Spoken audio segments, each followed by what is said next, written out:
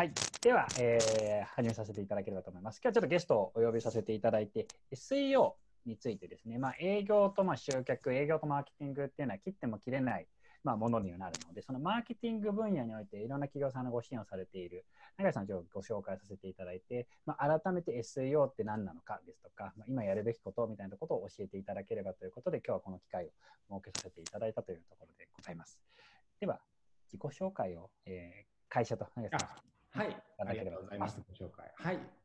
私、あの株式会社 S フレイジの代表取締役をしております、永井と申します。よろしくお願いいたします。お願いします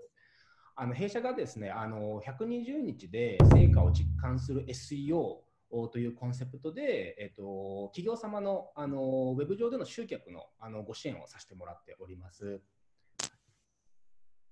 で、あの、はい。ってあすみませんいきなり120日ってあのできるもんなの。あの SEO って私もまあ私の LINE とかメルマガ読んでいただく方っていうのが、はいはい、ブログ経由で。高橋さん確か私の最初のきっかけいただいたのブログだったと思うんですけど、はいはい、私あの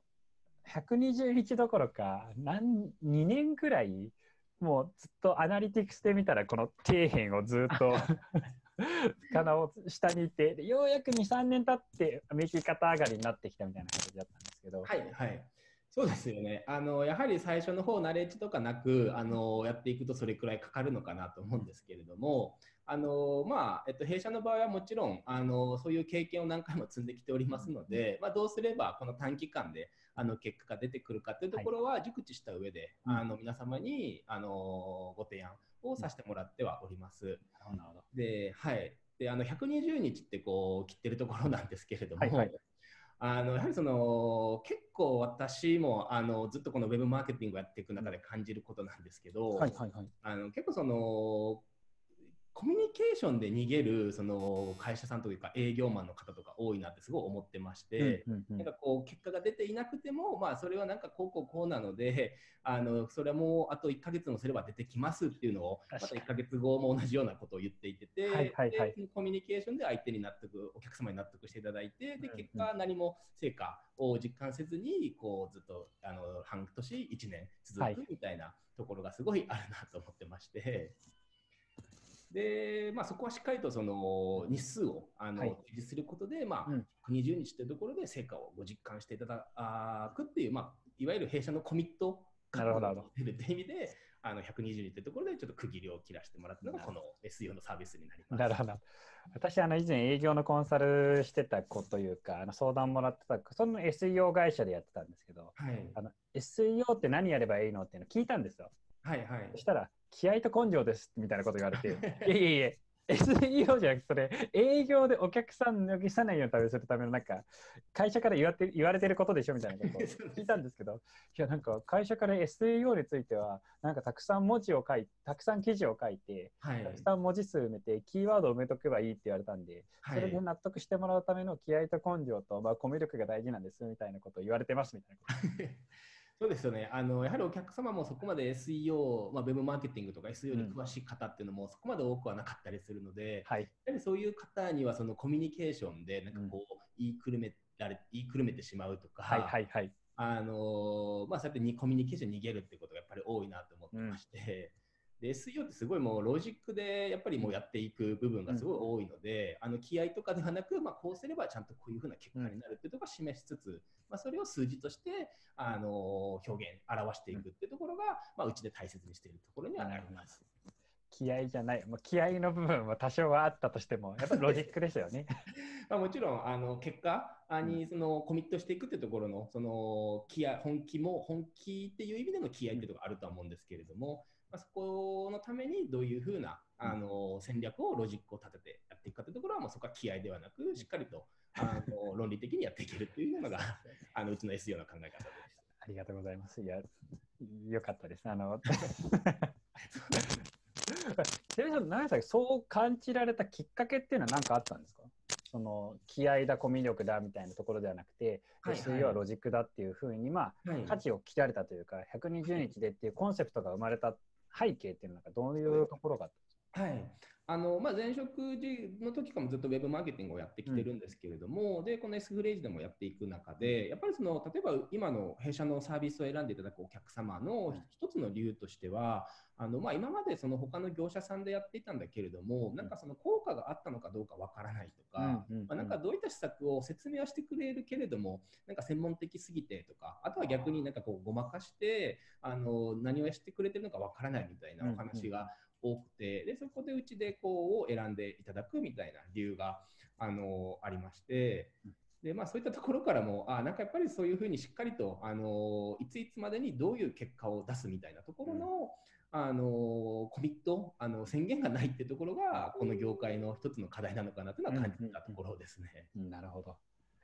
まあ、B2B と、まあ、会社で行けばもちろんその、まあ、ウェブマーケをするにあたってでいくと、はい、まあ、売り上げが上がるですとか、はいはい、販売数が伸びるみたいなところで、まあ、分かりやすい、まあ、市場請求増える問い合わせが増えるとかですね。分かりやすい部分っていうのはあると思うんですけど、はいはい、御社で考える成果って考えた時っていうのはなんかどういったところが成果の指標になるんですか、あそうだそこに関してはもちろんその最終的にお客様のそのサービスへのお問い合わせだったりとか、うん、まあ、そのお申し込みっていうところが、うん、あの最終的な成果というふうには考えておりまして、でそれに行くまでにあのやっぱりその因数分解していってその KPI っていうところがあると思うんですけれども、はいうん、まあ、そこの KPI をあのどういうあのスケジュールどういうロードマップであの達成していくかっていうところを、はい、あのしっかりと示していくっていうふうにあの考えております。なるほど、はい。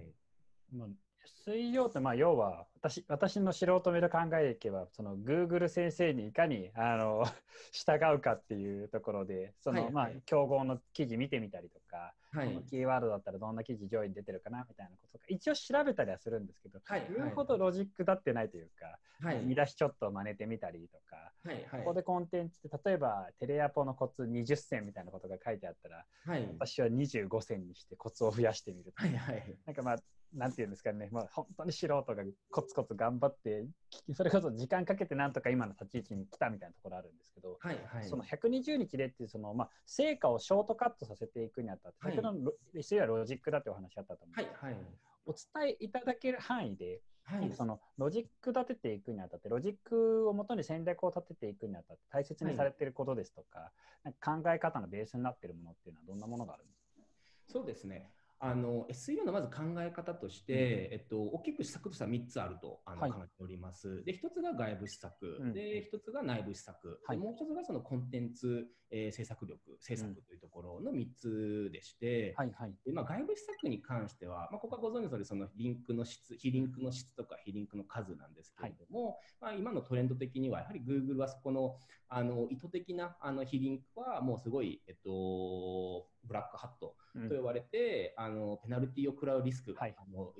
たあの食らうリスクが高いので、うん、あのトレンド的にはここはあの評価が低くなっておりまして、はい、うちとしてもこの外部施策はあの基本的には行わないというふうに考えております。うんうん、で次にはその内部施策のところなんですけれども、はい。あの内部施策ってあの、まあ、例えば今のサイトのパワーがこう100あったときにあのそのやはりその100のパワーをしっかりと Google に評価してもらえてないサイトっていうのが基本的には多くて、その内部施策をすることによって、その今あるパワーをその、えっと、0から100に近づけていくのは、このあの内部施策で行っていくべき、うん、あのことだと考えています。はいはいはい。でまあ、もし仮にそのしっかりとその内部をあのきれいに整理ができて、えっと、パワーを100に貯めたとしても、やはりそれ以上のあのところはこの内部施策では行っていけないですので、で次にその大事になっていくのはこのコンテンツ制作を考えています。はいはいでこのコンテンツ制作が例えばその100あるドメインのパワーを110、120にあの上げていくのがこちらの施策でして、うん、でうちでは特にこちらの、まあ、内部施策はもうあの今であればあの基本的に最低限やっておかなくちゃいけないっていうあのやるべきことだと思ってますので、うん、あのこのコンテンツ制作っていうところでこのドメインのパワーを上げて順位を上げていくっていうふうなのがうちのあの SEO の考え方になります。これはまあ世の中的にもその、まあ、いろんな SEO 会社がいる中でもそのコンテンツに力を入れるみたいなことっていうのは増えてはきてるんです、はいはい。そうですね、おっしゃる通りで、あの本当増えてきておりまして、でおそらくあの企業様独自でもコンテンツを作られている、あの企業様も多いかなと思います。で特にその中であのやっぱりよくあの声を聞くのが、まあ、どういうコンテンツを書いたらいいかわからないとか、うん、まあ、コンテンツ書いても順位が上がらないっていう、はい、あの課題感をお持ちのあの方とか多いと思うんですけれども、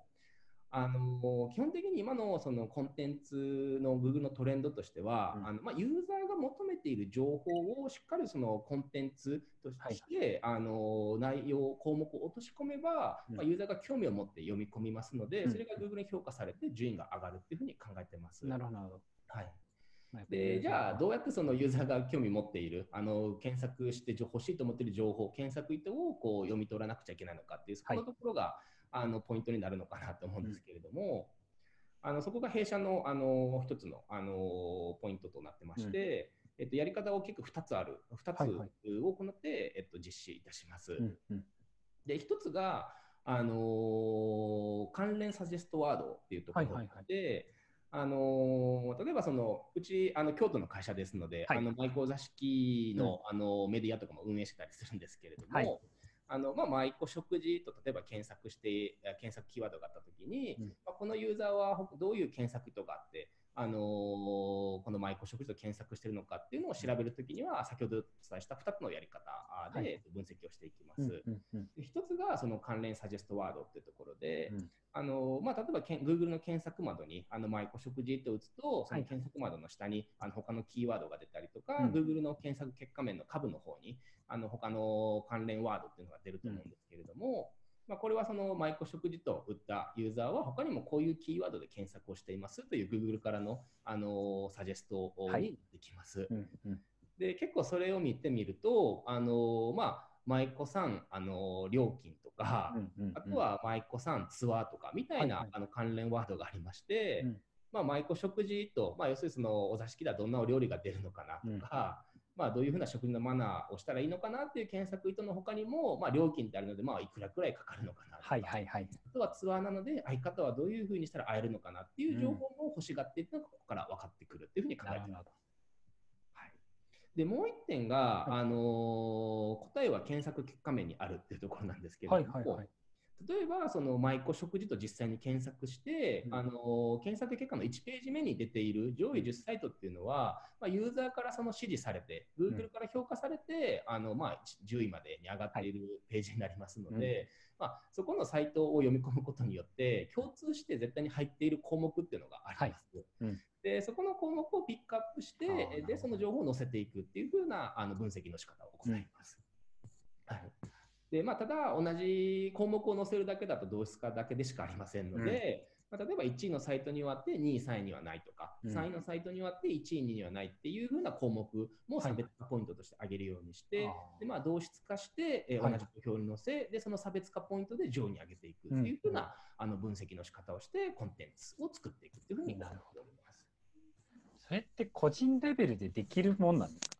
そうですね。あのーえっと、大きく2つに分かれるかなと思っていまして、はい、1つはあの実際の企業様でもおられるんですけれども、はい、あのある程度このやり方はご理解されていてて、で、まあ、それをあのご実施されているっていう企業様も中にはおられます。はいはいはい、で私たちがあのそこをあのもう一度分析し直しても、ある程度そのコンテンツの意図を捉えられているなっていう企業様もおられるので、うん、あの問題のなく書かれているあの企業様もあるんですけれども、はいただ、やはりあの一つ一つ分析をしていくのに時間がかかってしまって、リソースがないっていうところで、それができないっていう企業様のパターンが、はい、えー、と一つ目になります。うんうんうん。でもう一つあの企業様のパターンとしては、まあ、あの冒頭にもお伝えしたコンテンツを書くのは大事というのは分かっているけれども、まあ、書き方が分からないっていう、うん、まあ、いわゆるこの分析の仕方が分からないっていう企業様が、はい、あのこのパターンに当てはまるかなと思いますので、うん、まあ、その2つのパターンが多いです。なるほどけども今のお話聞くだけでも相当大変だなっていう感じ。やはり一つの検索意図を分析して記事化するまでにやっぱり最低でも3時間から5時間くらいはそうですね。できますので。でそれを一つ作るだけじゃなくやはり今はもう月に、あの10本、20本とかを作っていかないと、うん、あの相対的にやっぱりこう負けてしまいますので、はい、数のところは大事になってくるなるほどな。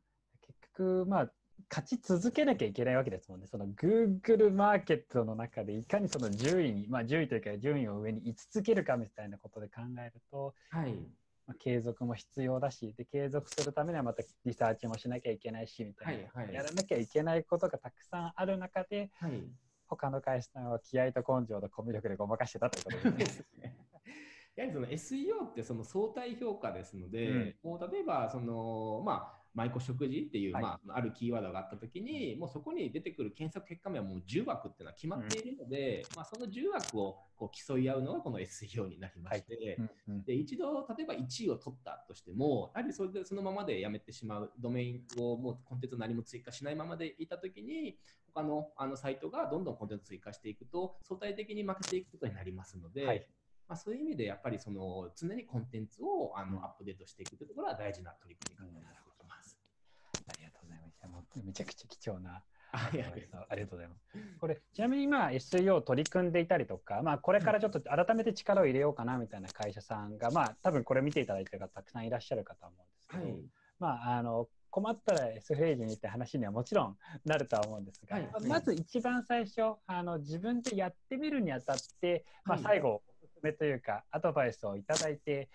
締められればなと思うんですがなんか一番最初まず取っかかりとしてやるべきことみたいなことって何か、はい、そうですね。あの、まあ、まずはそのはじコンテンツをもしご自身であのこのコンテンツを書かれるっていうその、はい、企業様であれば、うん、まずはその書いてみて、えっと、検索結果で、はい、まあ、その評価として現れますので、あのまあ、まずはその最初に取っかかってみるっていうところが大事かなと思います。はいで、まあ、そこであの1週間、2週間くらいすると順位があのある程度はついてきますのでうん、でその順位を見て、例えばそれが70位だったら、うん、あのまあ、多分やはりどこかでユーザーが欲しがっている情報と検索意図がずれていますので、うん、まあ、そこをリライトしていくっていうことで、あの徐々に徐々に上げていけるかなっていうところは、あのやっていける部分にはなるかなとでまあ、ただ、やはりあのそうやっていく中で、もともとやり方的にはその答えがあるあの領域にはなってきますので、うん、まあ、こうすればあの順位をあの最初からまあ1ページに入れられるみたいなところのやり方っていうのを、はい、まあ、その120日っていうそのショートカット、あの、うん、この期間の中であの答え、結果を出していくっていうのが、はい、あの弊社であのご提供している価値になります。ありがとうございます。いやけど本当に私は5年5年と 3, 3年かかってやっと上がってきて、はい、5年経ってなんかようやく安定して問い合わせがもらえるようになったので、はいはい、私の上で本当個人的にその副業からやってたことも重なってなんとかあのそんな冷弱サイトでも生き延びてきこれまで。そのウェブサイトからの集客だったりとかそれこそ最近集客コストも上がってるってお話すぐいただくので、はいはい、それこそ本当にショートカットして120日って4か月ですもんね。そうですね、やはり4ヶ月が一つのポイントかなと思ってまして、うん、それ以上かかってしまうと、やっぱり成果が出るまでにこう、うん、もう成果がなんか出ないんじゃないかっていうような、うん、あのちょっと弱気になあのお客様自体も本当にこのままでいいのかな、はい、うまくいけるのかなっていうところが、あの不安になってくるポイントが120日ですので、まあ、この中で成果を実感してもらうっていうところですね。でもちろん、あの最終的なその成果の部分で多分もうお申し込みつなげるとかっていうところだとは思うんですけれども、はい、そこにつながりそうみたいな。あこれだったら絶対やっていけるなって希望を持ってもらうのを120日の間で必ずその実感していただくっていうのをうちは大切にしております。なるほど。ありがとうございます。いや、本当に多くの企業様に、まずやってみるっていうのも大事だと思うんですけど、あの、はい、だらだら長くやるっていうことの大変さを私は身をもって知っているので、あのできたら多くの方ショートカットして、早く集客をまあ楽になっていただければというところそうですね、SEO は本当にもう資産化できるその手法ですので、うん、あのまあ、広告でしたらもうずっと媒体にそのメディア費として払っていかなくちゃいけないところを、まあ、SEO はコンテンツを作って、あの一定の順位が上がれば、基本的には、はい、あのその順位が維持されていきますので、うん、まあ、早く上がれば上がるほど、その資産がしっかりとマネタイズされていくっていうふうなあのこの SEO のいいところかなというふうに考えています。